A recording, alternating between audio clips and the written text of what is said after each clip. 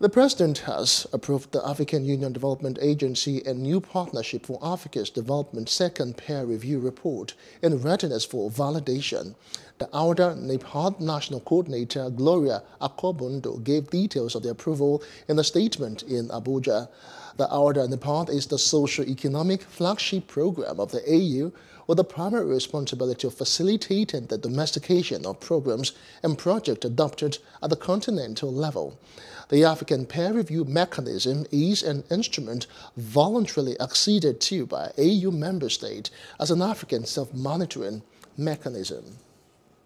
Hello, hope you enjoyed the news. Please do subscribe to our YouTube channel and don't forget to hit the notification button so you get notified about fresh news updates.